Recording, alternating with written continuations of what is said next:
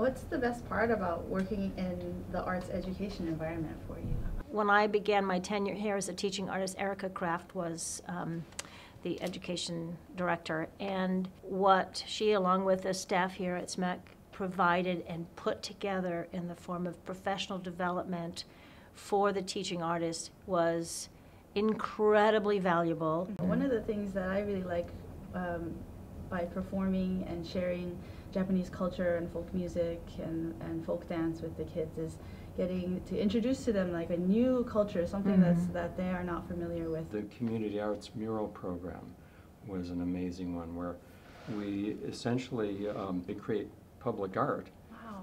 with um, young people, and to know now that some of these murals are up and some of these the, the, the teenagers are now adults, probably drive by and say, "Look, I helped paint Yeah. that." And I think that's really one of the strongest things that the arts can provide, is a sense of ownership, a sense of pride in one's you know one's home. This year we're celebrating SMAC's 40th anniversary and roll into any given child's eighth year.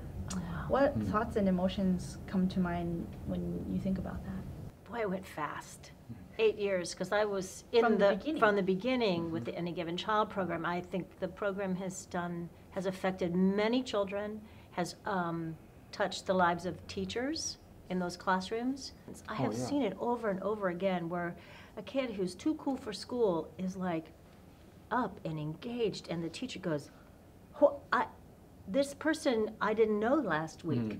And whatever the label is prior to coming into the classroom, sometimes, and you, you just hope for those moments, sometimes the experience with the arts shifts everything for a child. And then every, those labels don't apply anymore. Again, I worked with the commission quite a while ago, um, at a time when it was still on, on 10th Street in the old building, and it really affected me from that point on. Understanding how programs are built, understanding, you know, the way to, to develop successes, the way to, to touch people, the way to reach people who normally would not have been reached. With the, the cutting in, in government spending on the arts, especially in California, I was really worried that, that SMAC wouldn't be able to with, withstand that.